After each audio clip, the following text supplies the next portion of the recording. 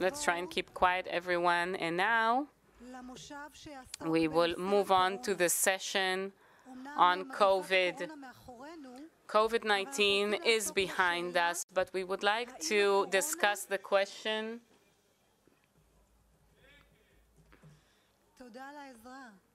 Thank you for your help, sir. So we would like to address the question, even though COVID-19 is pretty much behind us, and you're probably asking yourself, how is that topic relevant? But we think it is relevant, and we'd like to address the question, has COVID-19 better prepared us for the next pandemic? Hopefully there won't be such a pandemic, but we have to be prepared for any scenario. I'm honored to invite the first speaker to the stage Professor Mark Dybul, who is Chief Strategy Officer at the Center for Global Health Practice and Impact at Georgetown University. And now I'm, I'd like to invite Professor Gili Regev Yochay, head of the Infection Prevention and Control Unit's director of the Sheba Pandemic Research Institute at the Sheba Medical Center. You know, they always have these very long titles. And this session is uh, moderated by Professor Johnny Gershoni, a professor of virology and immunology at Tel Aviv University. But a moment before we begin, a 30 second uh, video.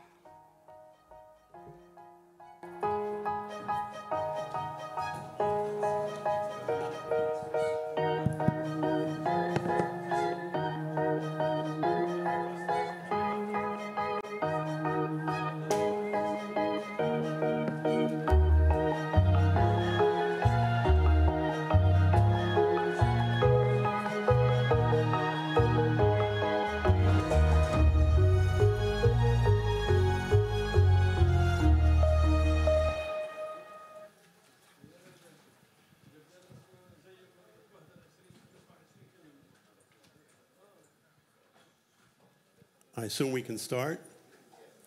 So just give me the 30 minutes on the clock. So, first of all, welcome. We'll be conducting the discussion in English. Um, December 2019, the Chinese reported a cluster of severe pneumonia in Wuhan um, by the end of February, there were over 80,000 cases reported. And on March 11th, 2020, the World Health Organization, the WHO, uh, declared a global pandemic. Now, initially, we were optimistic and we assumed that coronavirus, SARS coronavirus 2, the cause of COVID 19, uh, would peter out in the summer, as did SARS coronavirus 1. However, unfortunately, we've been coping with a massive natural disaster um, for the course of the last three years. But if I look around in the room, social distancing in the previous lecture was not a problem. Nobody's wearing a mask. And for the most part, Corona seems to have passed. Can you give me some perspectives as to where has the coronavirus pandemic disappeared? Gili, please. Yeah, so uh, in short, I'll say that uh, I, the virus is not gone, okay? And I don't think it has weakened. Uh, I will, I don't know what Mark thinks about that. And I think really the role of the place where we are, which I call it the post pandemic phase, is due to uh, vaccination and the, what we can call maybe partial herd immunity. Um, but let me go back to January 2020 and maybe explain why, in a way, that was obvious then. And, and I actually was one of those, and I know many more, uh, who thought it's not just going to go away. It's not like SARS 1. And the point where I understood that was when I heard about the German conference where it was very obvious that there was asymptomatic people who are infective. And once they are infecting others and we can't detect them, we can't just tell them, like in SARS 1, stay at home or be isolated, quarantined. We can't do that because we don't know who they are. This is going to spread and we're going to have a pandemic. And in order to stop that, we have to have some kind of preventive measures like vaccines. And if we don't have that, it's just going to continue and spread. I didn't know how severe it's going to be, if we'll have 1% mortality or 20% mortality. That was very frightening in those days. But I think that was really one of the points. And if, to come back of where we are now in the current stage, I think that, again, COVID is still circulating. We're seeing it.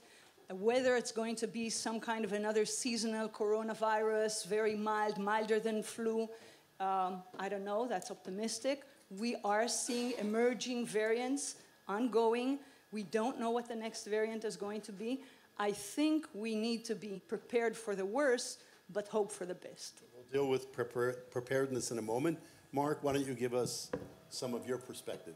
Just very quickly, building on, on what Julie said. Um, you know, I think it's been said and is true. We're done with the virus. It's not done with us. Uh, we're tired. We don't want to deal with it, but it's still there. As of March of this year, it was the fourth leading cause of death in the United States. Fourth leading cause of death in the United States. It is very much still here. Um, for the future, we don't know where it's going. Like many viruses, I would just give two cautionary notes. Coronaviruses are very different than other viruses, and people have not paid enough attention to that. We have known for years, coronaviruses cause about a third of common colds. So we haven't studied them a lot because they haven't killed a lot of people until SARS-CoV-2 and SARS-CoV-1 and MERS before.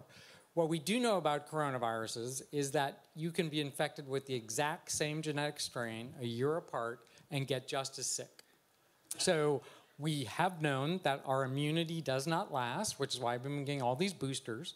Uh, and so we don't know what we're ready for or not ready for, uh, which makes herd immunity a little more difficult. The second is variants, as Julie mentioned, and we don't. Influenza, we're watching right now a variant. Uh, like that, we will see variants. And whether it's next year, in five years, in 10 years, will we see a 20% fatality rate coronavirus, SARS CoV 2? We have no idea. Let, let me, in that case, mention that the caution that was mentioned in the introduction are we prepared for uh, the next emerging pandemic? Spoiler. Yes, there are going to be emerging pandemics. Where they're going to see them. And so, Mark, maybe you can give us, due to a global perspective, what have we learned about COVID 19? What lessons uh, indicate that the pandemic was handled well, as opposed to where were the errors? and uh, some thoughts about preparedness. So I, you know, I hate to be a big spoiler, but I think we're in worse shape now than we were two and a half years ago. That's enough. Yeah. Yeah. Okay. Uh, and we will not fight a new pandemic well at all. It'll be a repeat of what happened last time. What we did well uh, is not much. A couple of countries did well. These are countries that had SARS 1 uh, and had existing systems. So they moved and did contact tracing and social distancing and very quickly and had very few cases. Uh, I'll come back to where they, what happened to them later in the pandemic. Uh, the second thing we did well is the research community came together rapidly and worked collaboratively globally. Um, and that led to pretty rapid advance, including the vaccine. However, that vaccine was built on 15 years of investments in mRNA technology, which had largely failed for everything else. And it was built on an accident that two researchers from NIH had stabilized the spike protein, which was essential to create effective vaccines. Effectively, things that happened for 15 years for other purposes. Now we're working on potential platform technologies, but we're not there yet. And so while we did well on the collaborative research before and some countries did well, they're both very indicative of what we did wrong. So uh, the biggest thing we did wrong is had no humility in the face of a pandemic. at least public facing humility in the face of something we really didn't understand. Um, the, in terms of the countries that did well, they got very complacent. And when Omicron came along, they did very poorly because they had stopped the contact tracing, they'd stopped uh, their social distancing, and they didn't buy any vaccines. And no one was vaccinated. And so they got hit pretty hard. So, what looked good at the beginning lack of humility. They thought they were done, they thought they were fine, and then they did just as badly as everyone else later on. On the vaccine front, um, the humility piece has not played out at all. We do not have good technology for future pandemics, and we are way too vaccine dependent. So by the time you get a vaccine produced, you already have a pandemic. We've barely focused on treatment. We have terrible treatments uh, for this pandemic, and we don't have very good antiviral treatments at all. If you had good antivirals, you could battle almost any virus, keep it down low so you prevent it from becoming a pandemic so that you can develop a vaccine. We've done very poorly on that. The other thing we did extraordinarily poorly on is communications, and that was lack of humility. Instead of saying, this is what we know now, we don't know, it might have a lot of asymptomatic transmission. Many of us said this not many, but enough of us. Um, we didn't say this is what we know today. It could change tomorrow because we don't understand where this virus is going. So we make these recommendations today, like masking, like social distancing, like closing schools, like shutting down airports and shutting down communities. But we knew by June, July, you didn't need to close elementary schools. Yet we kept, at least in the United States, them closed. So now there's a massive backlash because we didn't communicate, and now people look back and say, well, you didn't need to close those schools, and you did. Why do I trust you? You told us masks work. The global data show they don't. Well, they do work on an individual basis. They don't work on a collective basis. And if you're going to compromise, you need one. But we weren't nuanced in our communication. And now, because of that, going into the next pandemic, no one trusts us. Let so that's a problem. Then shift to Gili and say, are we doing anything to prepare ourselves based on the lessons and for the future? Yeah, so um, again, maybe I'll start with what we have learned in Israel and specifically uh, um, through some of the work that we've been doing at Sheba. And we, very early in the pandemic, established what we call the Sheba Healthcare Worker Cohort. And what we did was recruit any healthcare worker who agreed to donate blood on a monthly basis. And we followed their uh, immune response to infections, to the vaccines once it was there. We understood very early that we need real world evidence on how the vaccine, the vaccine effectiveness, on correlates of protection, uh, all of that. And uh, actually, we learned a lot from that. We have many, many outcomes that not just Israel, but the world uh, learned from that. Uh, among them was the decision to give a third uh, dose. That was, this is the only or the first time, and I think the only time, that Israel decided to give uh, a medicine before FDA approval. And that was based on uh, some of these studies. So, um, and, and then on the other hand, we learned after the fourth dose that it's maybe necessary only for immune suppressed and not for everybody. Or it may help slightly, but you know, don't have high expectations. And I think all of this that we've learned actually uh, brought us to a lot of international collaborations. Among them, most importantly, was the or is the collaboration with the NIH. And with that, we now established what we call SPRI, which so is, is at Sheba. Uh, this is at Sheba. It's the uh, Sheba Pandemic Preparedness Research Institute, and we are looking um, uh, forward into how can we learn one from this cohort, but maybe later I'll mention other cohorts that we're now building. One is uh, due uh, through a, a, lot of uh, novel technologies that have been developed at the NIH by Professor Danny Douek and we've trained part of our team already there, and uh, they're coming over here.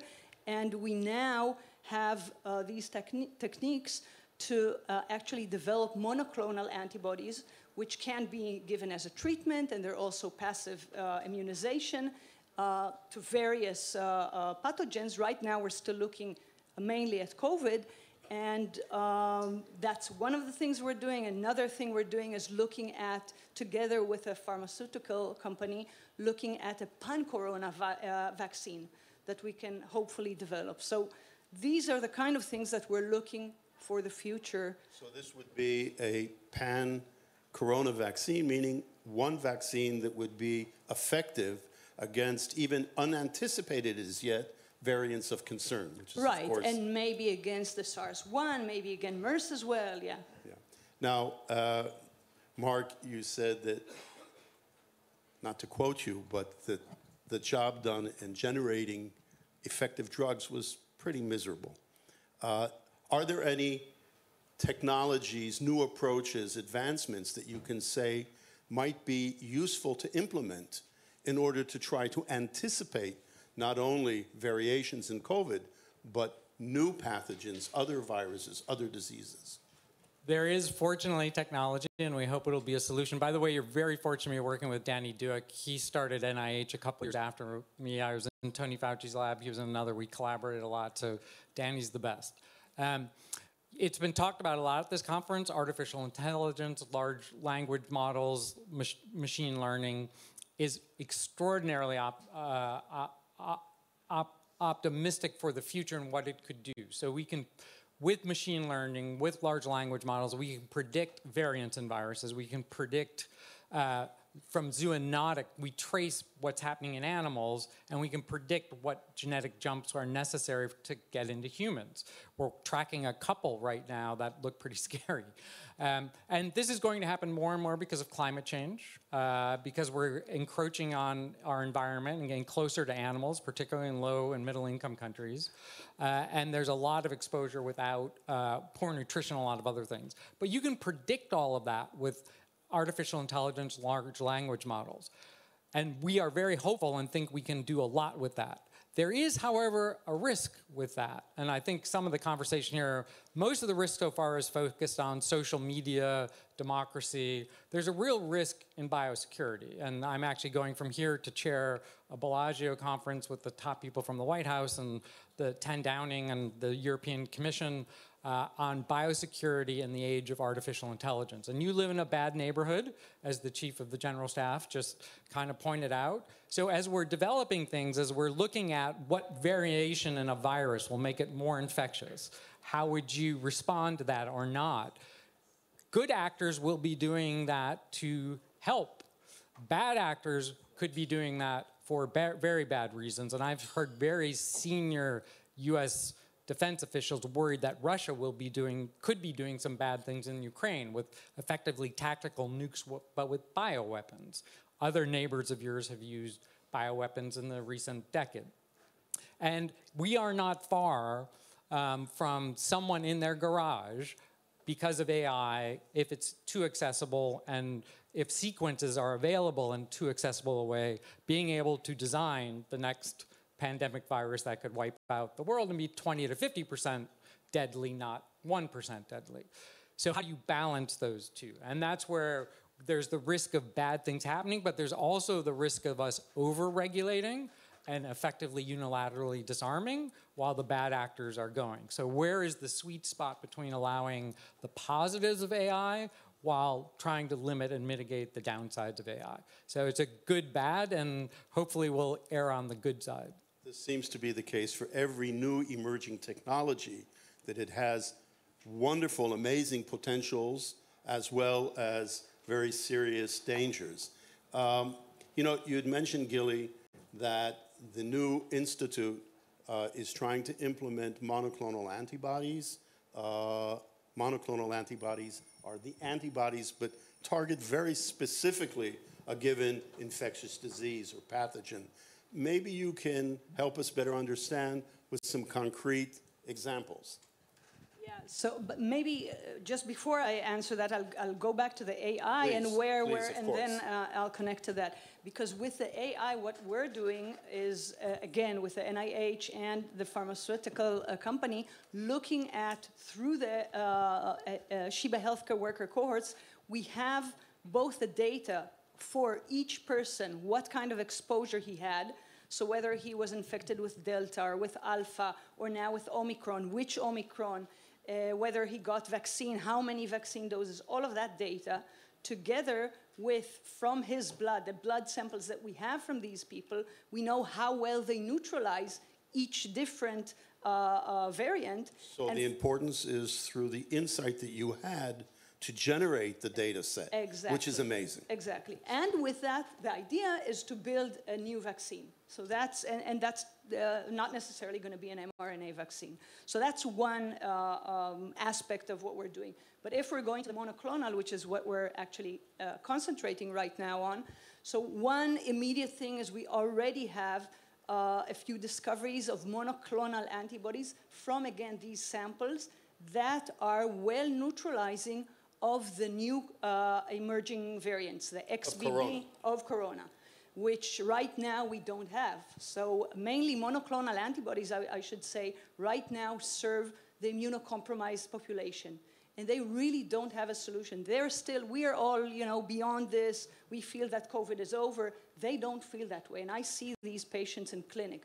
And they come and they say, what can we do? We're scared to go abroad. We're, because, you know, for them it's still a big deal if they get, whether they get flu or whether they get COVID, which is worse. And for them right now, the solution is monoclonal antibodies. Vaccines are not as effective for them. And the monoclonal antibodies that we had up to recently, the Evusheld, before there was the Regeneron, they were well, they're not working on the new uh, variant. So if we succeed to actually go and manufacture something like that, that might be uh, So that's one Corona, solution. but can That's you Corona. think in Yeah. others so people So can think a little bit out of the yeah, box? We have right now actually uh, blood being uh, uh, um, transferred into Sheba from people who are going to the Hajj. Okay, so the Hajj is going to happen in a month. And the Hajj, like any very condensed place where a lot of people meet, very crowded, coming from all over the world, that's a very good opportunity for any virus, whether it's going to be COVID, whether it's going to be Mars, MERS, whether it's going to be a combination of these, whether it's going to be a new uh, virus. So the idea is to collect blood before they go, after they return. We're going to collect all the data, whether something happened and people had any kind of uh, um, uh, inf- new infections that we're not aware of. And if something happens, we have the blood from which now we've learned how to produce monoclonal antibodies against whatever will come up. So we're actually looking, you know, forward before we even know what we're looking for. And that's one thing we're doing. Another thing is looking at something that we do know, well, you know, the, the mo- most, uh, I guess, uh, frightful uh, pandemic that everybody was afraid of was the bird flu. Uh, before uh, COVID came up. And uh, in Israel, actually, we had a very large outbreak of cranes. That had we had 8,000 cranes that uh, agurim uh, in Hebrew that died in the Achula, and uh, a lot of people had to be exposed to take them out of the. Uh, And their H5N1 flu Right. is the same that could infect and be very dangerous to us. Exactly. We didn't have any uh, human uh, uh, beings that, that were, yeah, any human cases, but these people were exposed and potentially maybe they developed antibodies and maybe that's why they didn't get infected. But if we can get those antibodies, develop monoclonal antibodies up front, if at some point we have a pandemic, we'll have something ready immediately and not have to wait for a year or again a year was very lucky as you mentioned it, it can it can take much longer. We'll have something prepared within weeks. That's the idea. Mark, I'd like to ask you you had mentioned the fact that the vaccine was the product of uh, extraordinary work, Barney Graham and, and others at the NIH, uh, in stabilizing the antigen, and of course, the messenger RNA technology, which is new, and yet you also mentioned the fact that corona is a really nasty bug, and it doesn't seem to comply. People can get vaccinated, they are protected, but then they come infected again. What's going on with corona, and what would you say about future vaccines? So we don't know, and because no one studied coronavirus in depth because there's no money in it because it, caused common cold. So why would you spend a lot of money on something that causes common cold? We're starting to learn more, and I think we will learn a lot. Just like at the beginning, we knew nothing about HIV. We now understand the immune response because of the investments in HIV. My guess is that it is producing some substance that inhibits the immune response. But it's probably not the only virus that does that. So, for example, we know that coronaviruses emit a substance that blocks interferon, which is a key part of our immune response. So does hepatitis B, so do other viruses. Measles. Measles. RSV. Um, so there's the potential to start thinking about well, are there pan, not just coronavirus, but pan viral antivirals, uh, for example, interferon, that could be used in the, in the early part of an outbreak of any viral infection, not necessarily to eliminate it, but to bring it down to a low enough level that by the time we have a vaccine, it's still an outbreak, not a pandemic. Because again, by the time you get to vaccines, you are in a pandemic state. So what can we do to bring that down? And I, and what coronavirus is doing is very important. The other thing we should be doing, and we're not doing, is linking the worlds of oncology and infectious diseases. So cancers do a great job of emitting things over time and, and modifying themselves to protect the immune response from clearing the cancers. Viruses are like cancer. They live inside cells, uh, which is why they're so difficult to get at. And so if we bring these worlds together, and again, artificial intelligence, large language model learning could help us do that, we could start identifying things that no matter what happens, we would be ready. But no one cares anymore. We say we, we should be doing all the money for this stuff is dried up. People aren't investing in it anymore. Some drug companies are, but we're pretty much done with it. If we stuck with it and actually invested now, it could not just be for infectious diseases. It could not just be for pandemics. It could be for many infectious diseases. It could apply to cancer. It could apply to autoimmune diseases, many things. So that's the opportunity with artificial intelligence, um, using it properly to allow us to jump these different fields. But it's very optimistic if we invest and, and take the time to, to play with it. I like the concept that it's very optimistic, and AI is being used, amongst others, to analyze the wonderful database that's been collected in Sheba. And so under these circumstances, I think it's a good place to stop the discussion. Thank you very much.